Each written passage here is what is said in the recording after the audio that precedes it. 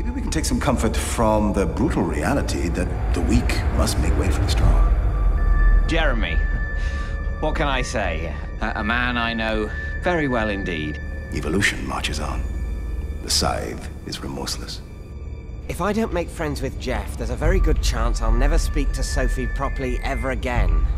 I quite like tending him as he grows weaker and weaker. And you need to pick the right way. Because one way's heaven, and the other. well, probably best not to think about that right now, but it's fucking horrible. Bag him up and sling him out. Fucking idiot, Jeremy! You typical fucking idiot! You fucking moron! You cretin! That's what you are! A fucking shithead! He knows what I'm capable of. I could kill anyone in this room with a pencil. That's insane.